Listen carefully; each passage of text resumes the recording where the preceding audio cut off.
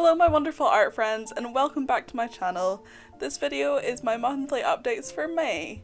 It's less of a studio vlog and more of an art adventures vlog.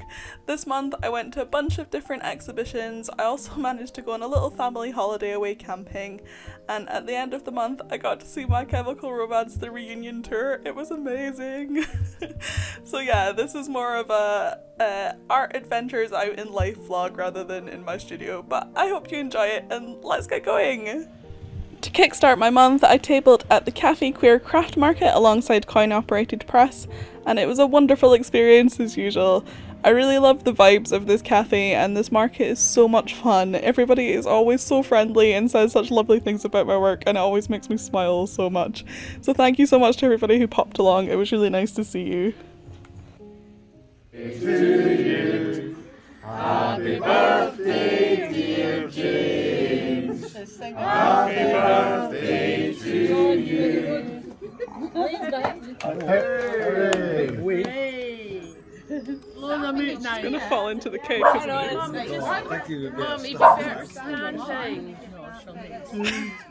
Mum, you better standing. I think you need to stand up. Listen, you'll need to stand up. Alright, okay. Go on. So the first exhibition of this month was going to check out Van Gogh Alive, the experience in Edinburgh. And I didn't really know what to expect from this exhibition. I purposefully decided not to try and engage with any content and tried to keep it as much of a surprise as possible, so I just enjoy the experience once I was there. But it's hard not to see the little sneak peeks that people post online, and I knew at the very least about the sunflower room, but the rest of it I wasn't entirely sure what it was going to be. So it was really, really nice to come in completely fresh and just be astounded by all the work on display. So I'll read you out the little bit of the description from the website so you can get a sort of idea of what this exhibition was all about. Van Gogh's works have been exhibited and admired for over a century, but never like this. Created by Grande Experiences, Van Gogh Alive gives visitors the unique opportunity to immerse themselves into Van Gogh's artistry and truly venture into his world. Traditions of tiptoeing through silent galleries and viewing paintings from afar in quiet contemplation are forgotten as visitors find themselves interacting with art in ways they never imagined. From start to finish, visitors are surrounded by a vibrant symphony of light, colour, sound, and fragrance as they wander around the exhibition and absorb it in every possible angle. Van Gogh's masterpieces come to life, give visitors a sensation of walking right into his paintings, a feeling that is simultaneously enchanting, entertaining, and educational. Adults and children delight in this super scale show, viewing artworks from new angles and discovering unique perspectives. And that is exactly what it was. It was lots of screens in a very darkened room, projected with lots of different moving images of the artworks. And it was really fascinating to see them in that way. And like it said, it really brought them to life and made you immerse yourself into the artworks, especially with the sounds and the fragrances, although they weren't that strong, so you could only sort of just smell them, um, which was probably good for me because I think I would have ended up being a bit overstimulated. but definitely my favourite part of the exhibition was going into the sunflower room at the end. It was so beautiful. I really loved this. It was a fantastic experience. I mean, it was quite pricey, but I definitely recommend it if it's in your area.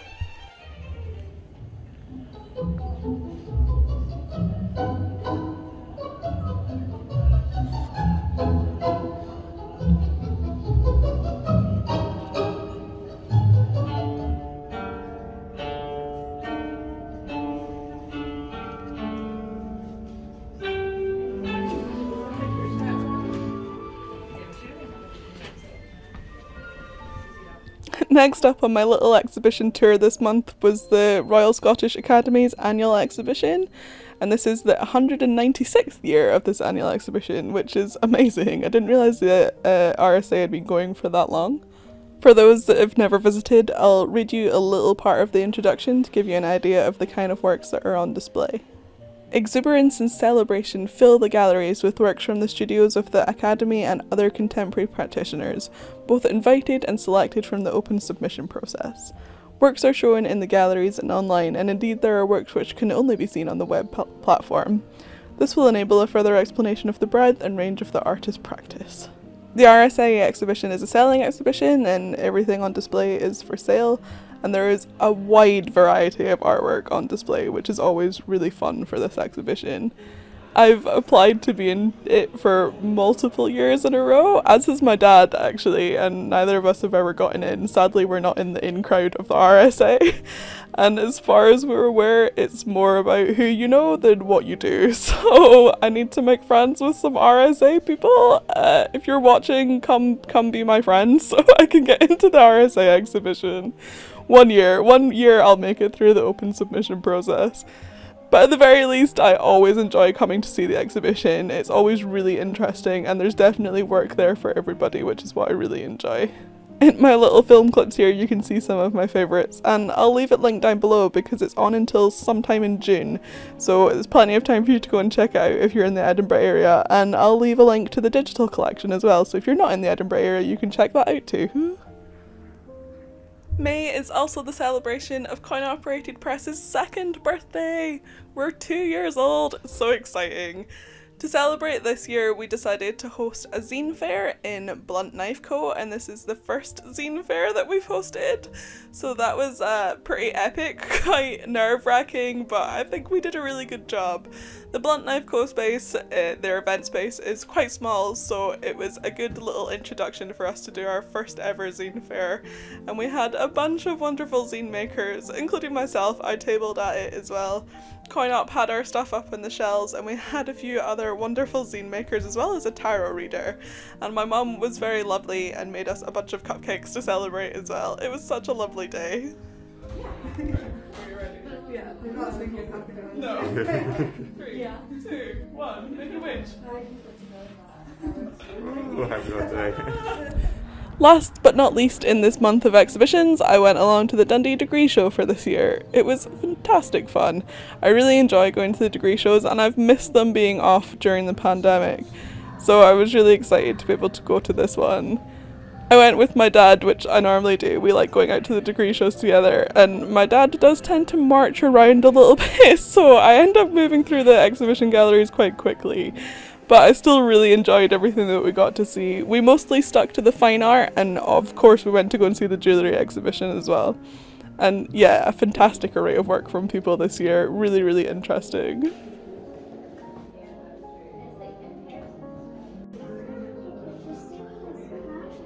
This month I also managed to wander away on a little family holiday. We went on a camping trip to Dunbar, which totally reminded us of when we were kids.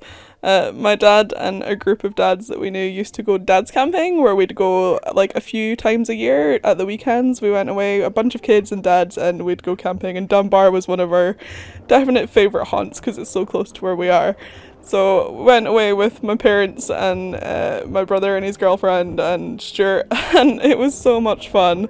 We had a dip in the very cold Scottish waters. Managed to encourage Ankis to go swimming with us. it was very cute and we just enjoyed all the beaches and had some lovely food out and it was just really nice being out with my family and enjoying the beautiful country that we live in.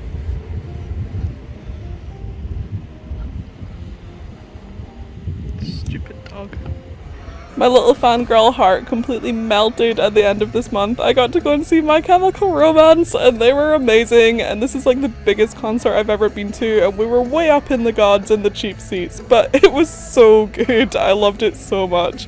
I really hope they tour again because I just, I need to see more. It was amazing. Ah.